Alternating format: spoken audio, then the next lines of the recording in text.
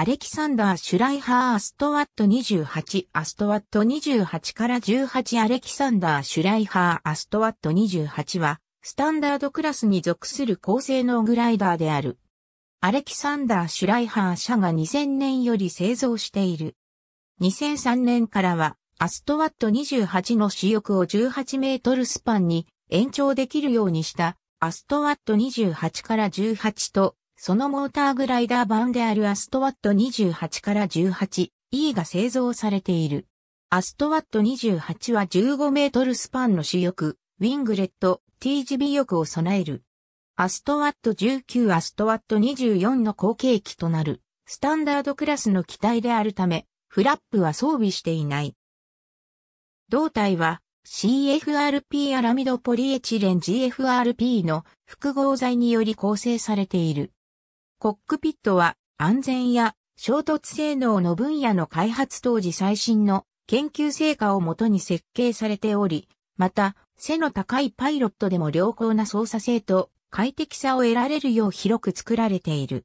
胴体には飛行中はギアカバー内に隠れている製の CG レリーズとノーズ部の AT レリーズが装備されている。ゴム製サスペンション支持のギアは引き込み式でエアブレーキレバーと連動して作動する油圧式ディスクブレーキを備える。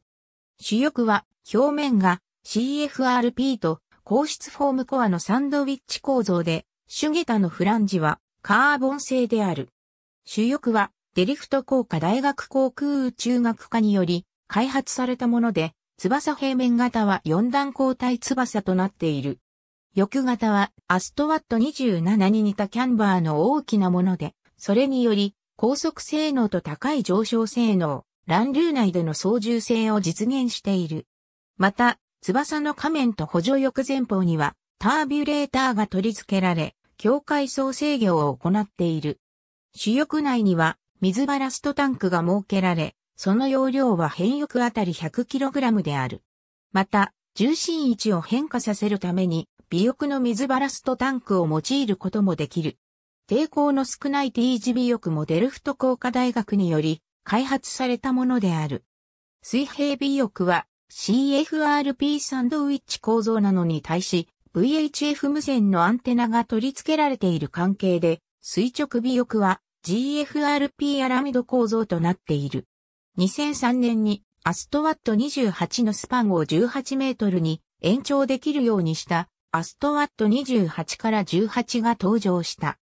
アストワット28から18は、翼根から5.25メートルの場所に、内側翼と外側翼の結合部があり、内側翼とウィングレットは共通で、外側翼を取り替えることによって15メートルスパンと18メートルスパンの両方を利用することができる。翼腹が大きくなったため翼の構造は完全に見直されている。また、アストワット28から18のモーターグライダー版であるアストワット28から 18E も登場している。アストワット28から 18E は電気機構で出し入れでき、1レバーで操作することのできるエンジンを備え、エンジンを使用すれば秒速1.2メートル以上のレートで上昇することができる。二つの数値が併記されているものは15メートルスパン、18メートルスパンそれぞれ15メートル、18メートル時、ありがとうございます。